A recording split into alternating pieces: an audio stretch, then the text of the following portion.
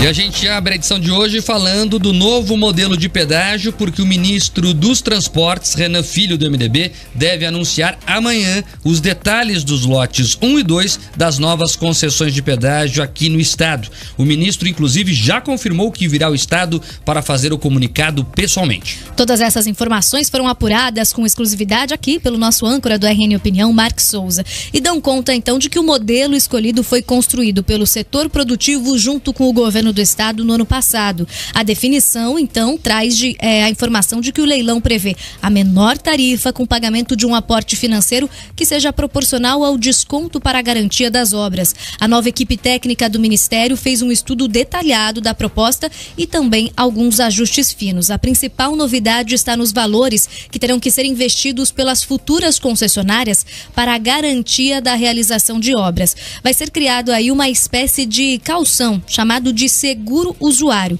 Esses valores serão depositados pelas empresas em um fundo e poderão ser sacados novamente quando as melhorias previstas nos contratos forem entregues.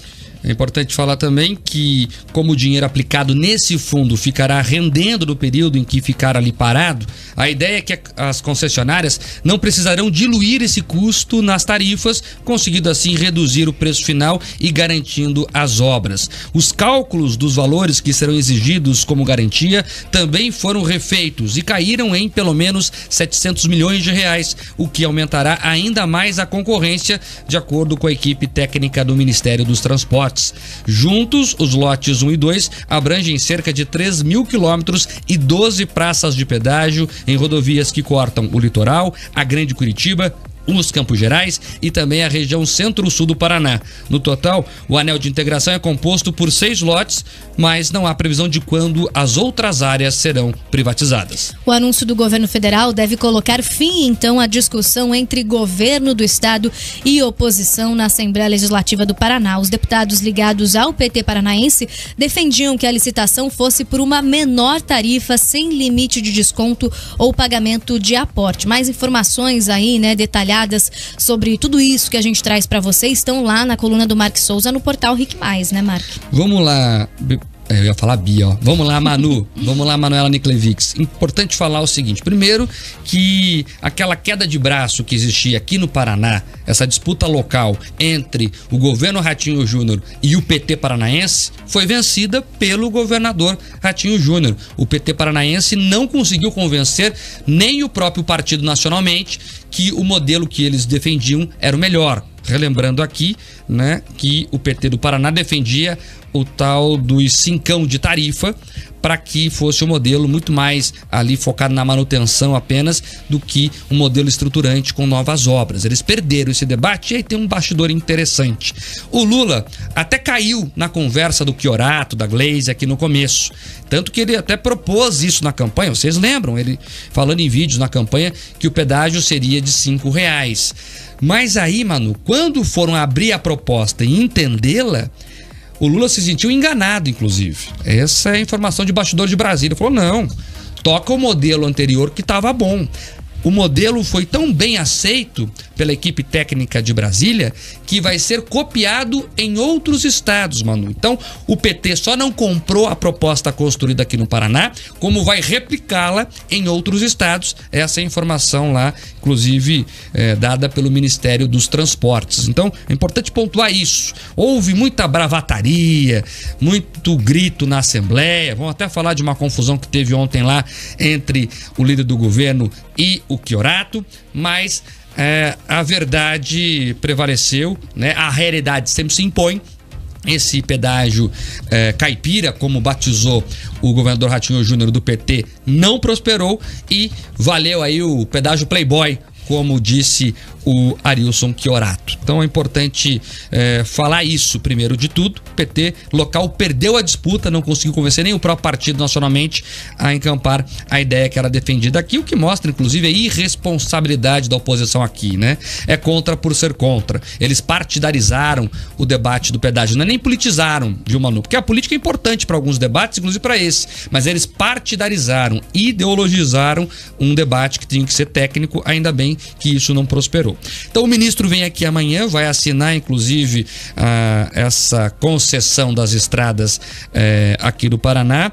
Devem ser anunciados inclusive datas de expectativas de leilão já, inclusive, né? O edital deve ser lançado na praça eh, o quanto antes e a expectativa é que ainda nesse primeiro semestre isso saia do papel. E é uma surpresa muito grande para todo mundo, porque como o PT local vendia aqui, o PT nacional não ia comprar a ideia em discussão aqui, muita gente apostou que ia demorar muito isso. Inclusive nós aqui na Jovem Pan, pela conversa do PT, que a gente acreditava que falava em nome do PT Nacional aqui, isso vai demorar muito, né? Inclusive querem jogar, quem sabe, por ano que vem. Mas não, né? O governo federal optou por um modelo que já estava bem avançado, aí é só marcar a data. Então, a expectativa é que o ministro que amanhã já anuncie datas, pelo menos expectativa de datas, para o leilão e também para as novas concessões começarem a funcionar. Os lotes 1 e 2, imagina você que está no carro aí, o mapa do Paraná pelo código telefônico. Então, imagina lá, tem o 41, tem o 42, 43, 44, 45, 46. Não é assim que funciona telefonicamente? Então, assim, o lote 1 e 2 são os DDDs 41 e 42. Então, região de Curitiba Litoral, Ponta Grossa e Campos Gerais, Guarapuava e Centro-Sul. Esses são os lotes 1 e 2, são os mais importantes porque são as ligações à capital do estado e também ao porto de Paranaguá. Ainda não há previsão de quando os outros lotes serão licitados, mas a expectativa é que não demore muito, Manu. Eu conversei com técnicos do Ministério dos Transportes, eles disseram, ó, o modelo está escolhido, então agora é acertar ali alguma coisinha ou outra, é, número de praças, é, se vai ter uma tecnologia é, ou não, mas a expectativa é que isso já seja anunciado inclusive nesse semestre. Então, eles querem resolver essas licitações ainda esse ano, todas as seis, todos os seis lotes. Vamos ver se isso vai sair do papel. É uma notícia excelente, Manu. Finalmente, nós começamos a ver a luz no fim do túnel. Infelizmente, mais rápido do que a gente imaginava, como você falou aí, né, Mark? Então, o governador Ratinho Júnior já tem aí esse evento marcado junto com o ministro dos Transportes, Renan Filho. Eles devem assinar, inclusive, em frente à imprensa, né, e uma série de convidados amanhã, às 10 horas da manhã, lá no Palácio Iguaçu, esse documento batendo o martelo nessa definição aí dos moldes do leilão do lote 1 e 2. Esses dois que o Mark explicou aí, a gente aguarda para saber dos demais. São seis lotes no total. E aí só vale ressaltar, né, Mark, que essa luta foi bastante encabeçada aqui pelo presidente estadual, é, essa defesa do pedágio de manutenção, né, que o Ratinho Júnior chamava de pedágio caipira, pelo Arilson Chiorato, mas a Glaze Hoffman comprou muito essa briga. E ela, como gosta também de se pronunciar bastante nas redes sociais, estava fazendo isso nos, na questão dos pedágios também. Então, a segunda derrota aí da Glaze nesse, nesse novo mandato do, do, presidente Lula? Grande derrota, pelo menos pública, é a segunda, viu, Manuel? Ela chegou a chamar o governador de mentiroso. Acho que o pessoal lembra aí. O governador foi para Brasília, fez um anúncio que havia um entendimento com o ministério, o que se comprovou agora, inclusive.